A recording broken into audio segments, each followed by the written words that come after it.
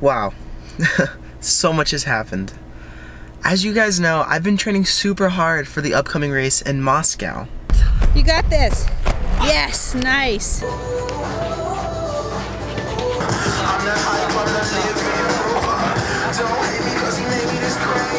Now, we all know that right now we're dealing with a pretty rough pandemic.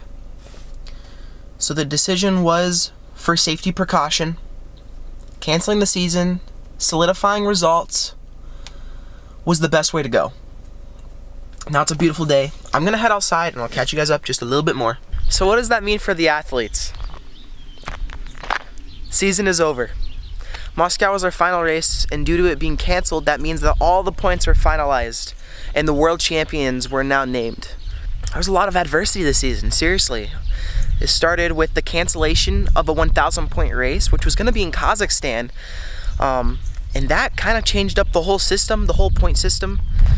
Then we had to deal with some warm, some warm temperatures in other areas of the world because the season is ending. Um, I just kind of want to do a recap. And, you know, let's start in Mont du Lac.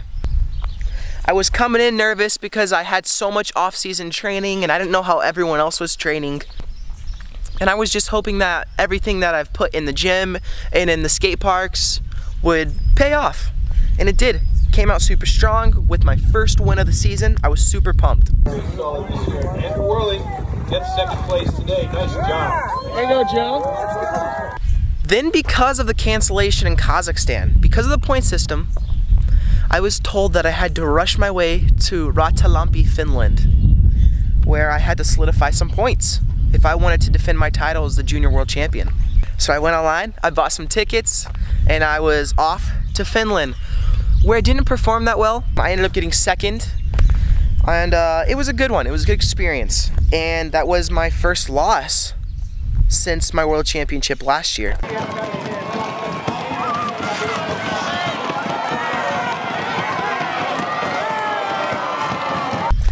So I was motivated, I was ready, I, I needed to redeem myself, and that was gonna be in Japan. Going in, I was super confident. I knew that it was a technical course, I knew that I was good on technical courses, and I performed so well. In time trials, I reached one of my goals, which was getting top 10 in the men's division. And I did, I got eighth place, that was my time trial. So confident going into my race. Ran into some technical difficulties at the top of the start gate up at the top, I guess um, that there was a mandatory a mandatory curfew for sound pollution. Uh, because it was Friday night and the main event was Saturday, they had to cut off all the sound at the top of the start gate, which was super interesting because we were standing up there and it was pretty quiet.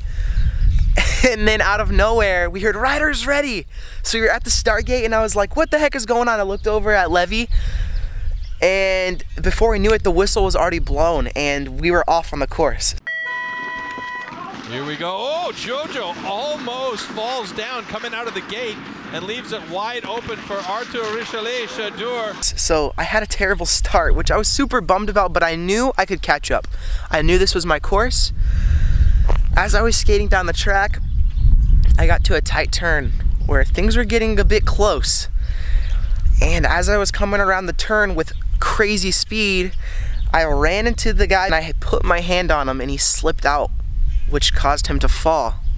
And because my hand was on him, I got disqualified, putting me in fourth place. Oh man, was it stressful because I knew that I needed to solidify that win.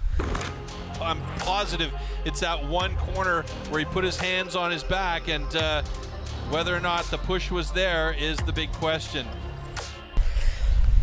I took it as a learning experience. And I also knew that I had Moscow.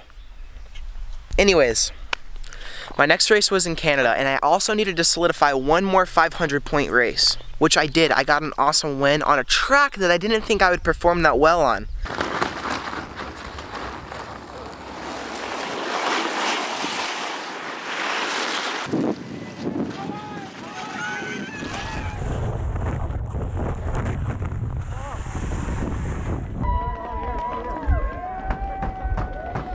Insanely crazy season. And this is only my third year of competing. And let me tell you, this has been the craziest one yet. Overall though, guys, I'm so happy and pumped about how I performed. I'm a completely different athlete than I was last season, and I'm ready to work my butt off and kill it next year. So my plans for the off season, and if you guys want to follow me just a little bit closer, you can check me out on Instagram or go to my personal YouTube channel. I'm just gonna be living here at Camp Woodward, doing my thing like I do every summer, jumping on trampolines, skating, having a great time. Um, it's pretty great, so check it out. And like I said, I had so much freaking fun doing this. It was a blast, and I'll be seeing you guys soon.